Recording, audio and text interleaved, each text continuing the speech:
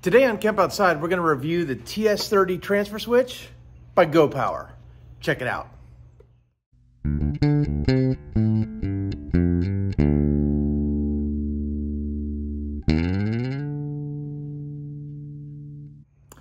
Hey guys, I'm Kevin with Kemp Outside, your inside source for all things outside. Well, I'm super excited for today's video because we're going to test out the TS30 transfer switch from GoPower. And I'm really excited about this because what this is going to allow me to do, it's going to allow me to run my cargo camper, which is my 7x14 enclosed cargo trailer that's been converted to a camper. It's going to allow that camper to run off its off-grid 12 volt battery system with a 2000 watt inverter it's going to allow that trailer to run off that inverter all the time until it detects shore power. And when I plug in shore power or I plug my generator into the trailer, this will automatically switch the system over to shore power or the generator and come off the battery system. So I'm super excited about this. Let's crack this thing open and take a look at it and then let's get it mounted up in the trailer and see how it works. So the first thing is, is there, you know, the box is plastic, right? But that's okay. It's designed to be mounted inside and it's got a series of knockouts so that you can, you know, install whatever you need to install in this. And then you kind of just pry the lid off. And on the inside of the lid is a wiring diagram. So if you're trying to figure out how to wire this thing up, it's right inside the lid, which is nice. And it's a really, really simple uh, construction, right? And what's nice about it is, is it has these wire connects already attached to it. So all you've got to do is run your wire into the box, put a little, you know, wire holder. I forget what they call those things, but you know, what the thing that, you know, screws in. And then, you know, put your bare wire in the end and clamp it down and you're connected. So really, really simple connection for this. And to show you how to hook this up, guys, we'll go ahead and refer to this. So up top here, these are two, your, your breaker panel in the trailer. These two on the side are to your shore power or generator. And then these two on the bottom are going to be for my inverter. So normally they're gonna run off my inverter.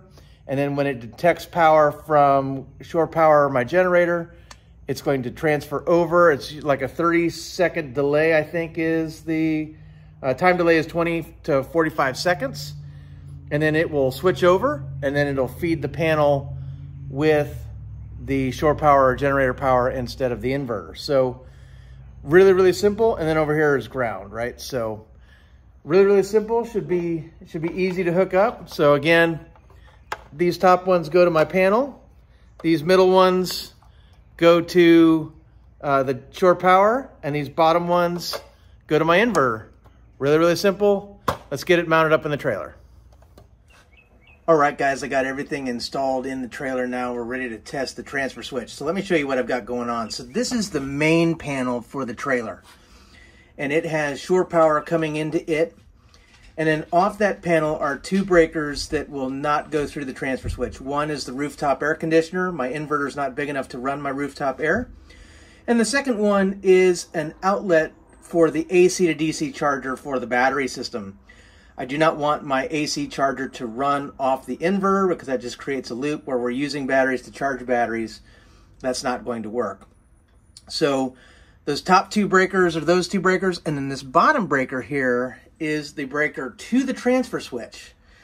Right, so that runs to the transfer switch so that when shore power is detected, the transfer switch over here will detect that shore power and switch over to shore power. The rest of the time, the transfer switch is set to run off the inverter. So the inverter comes in on this bottom line and runs into the transfer switch and that's what the trailer runs off as default. Okay, it's a 2000 watt Renogy inverter.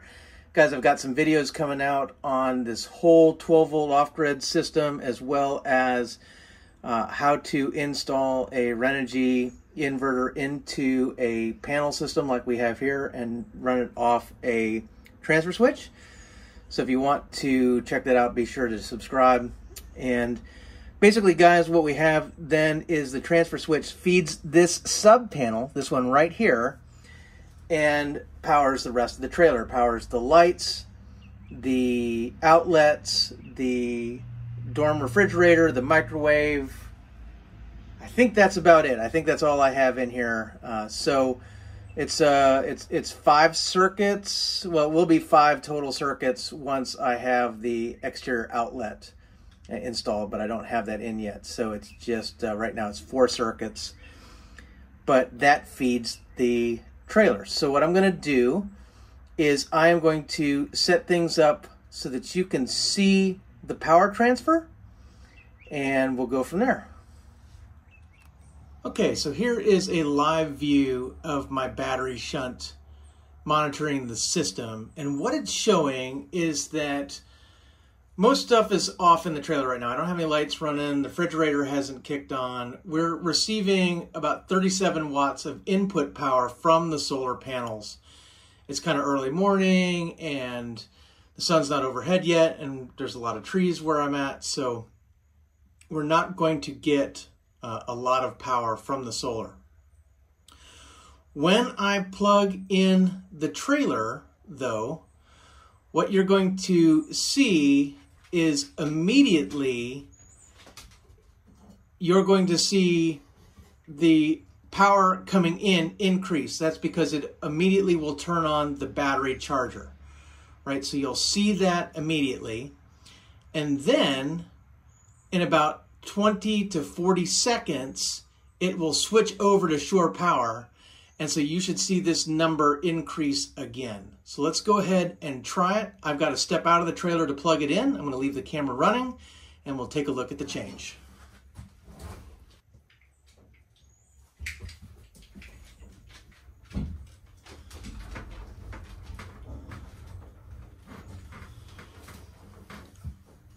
All right, so immediately, guys, you see that the current has gone up to 32 amps. That is the charger and the uh, solar panels combined. And then if you heard that click, that is the transfer switch switching over to shore power. So when I turn on lights in here, we should not see any current drop. If we were running on battery, we would see a current drop. So here I'm gonna turn on a light right? And nothing changed, right? You can see the reflection of the light in the iPad. Nothing changed. We are running off of shore power. The trailer is running off of shore power. That sub panel is running off of shore power. Now I'm going to go unplug shore power and you can watch how this change will cause this number to go down, the amount of current to go down because we will start running that light off the battery.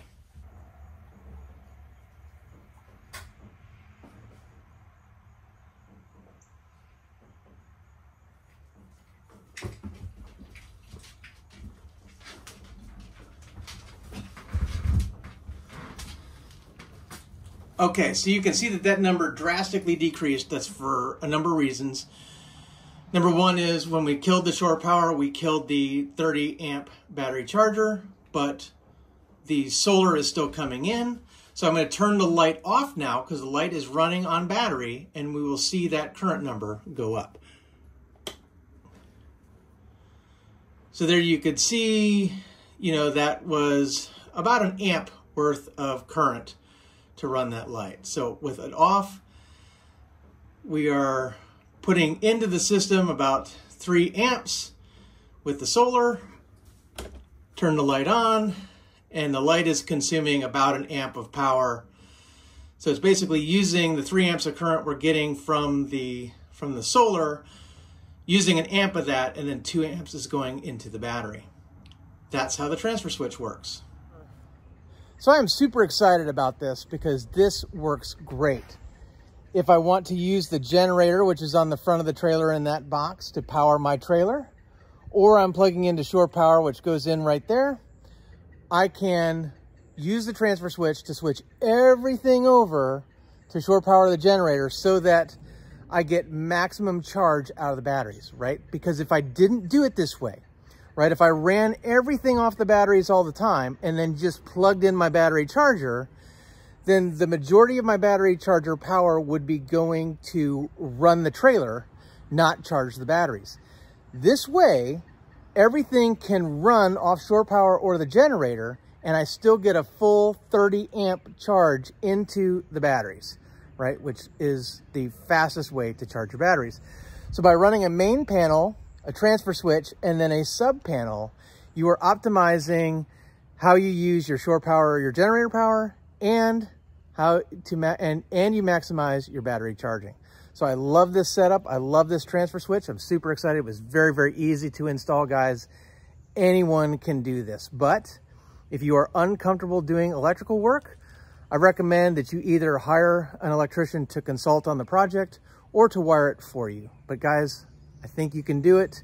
But hey, don't take my word for it. Trust yourself, right? If you are a DIYer and you're good at figuring stuff out, this is pretty easy.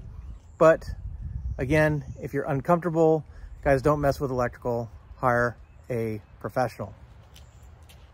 Guys, if you have any questions about the TS30 transfer switch from Go Power, drop some in the comments below and I'd love to hear from you. I am not an electrician. I am not an expert. So there might be some things that I cannot answer, but if I can, I will certainly give it a go. And if I can't, I'll tell you I can't.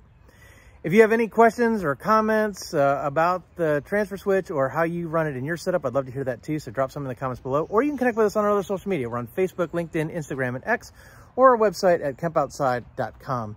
Guys, I'm Kevin with Kemp Outside, your inside source for all things outside. We exist to help moms and dads take their kids camping, hiking, fishing, learn about nature, and develop a conservation ethic. We want to help you get you and your kids outside. One of the things that has been painfully aware to us is our need for off-grid power, especially when we're traveling long distances and are gone for long periods of time. Life doesn't stop. We need to work.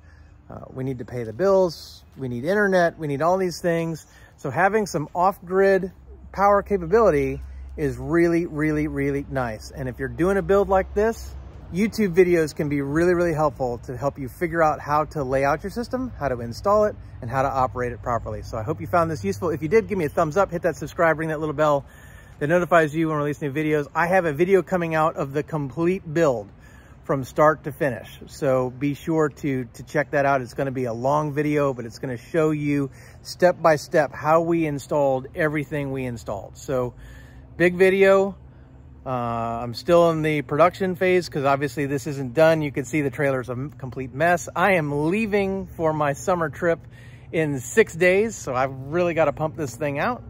But stay tuned for some videos coming out uh, on all of this stuff. If you like this stuff, make sure that you camp out with us right here at Kemp Outside. Guys, thanks for watching. We'll see you outside.